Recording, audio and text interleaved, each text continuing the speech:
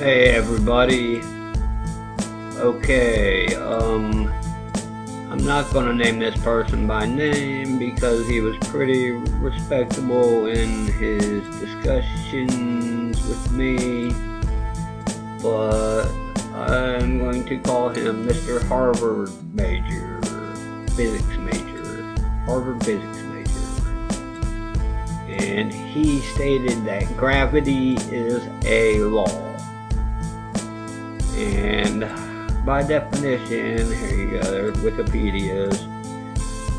Gravity is most accurately described by the general theory of relativity proposed by Albert Einstein in 1915, which describes gravity not as a force but as a consequence of the curvature of space-time caused by the uneven distribution of mass energy. So right there, it is a law based on a theory, which makes it a theory. Does that clear things up? Gravity is a theory. There is no proof that gravity exists. You don't drop a rock and it falls to the ground and proves that gravity exists. Okay, so let's jump to right here. Gravity, it's only a theory. This is the National Center for Science Education. The National Center for Science Education, people.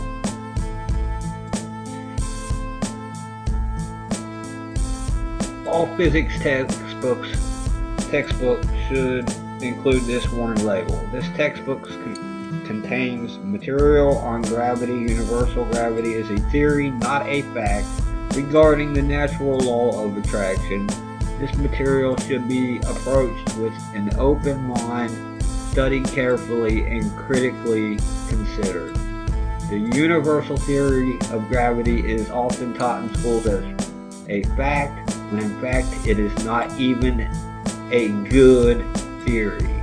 Again, the universal theory of gravity is often taught in schools as a fact, when in fact it is not even a good theory.